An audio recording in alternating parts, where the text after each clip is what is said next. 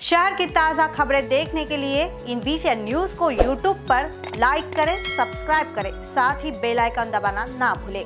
काटोल पंचायत समिति द्वारा आयोजित गंदगी मुक्त स्वच्छ भारत अभियान के तहत कोंडाली ग्राम पंचायत के वार्ड क्रमांक 6 के टीचर कॉलोनी के गजानंद महाराज मंदिर परिसर में गंदगी मुक्त भारत अभियान के तहत साफ़ सफ़ाई करने के बाद पौधारोपण कार्यक्रम आयोजन किया गया। स्वतंत्रता दिवस के अवसर पर यह आयोजन किया गया था।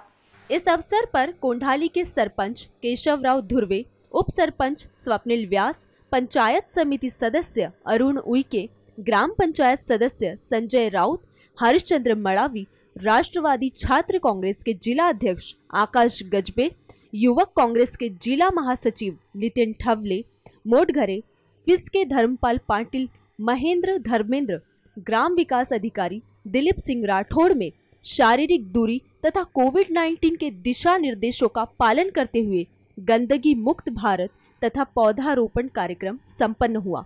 सभी दिशा निर्देशों का पालन करते हुए ग्रामीणों की उपस्थिति पूरी हुई। इन बीसीएन के लिए कोंडाली से महेंद्र धर्मे की रिपोर्ट।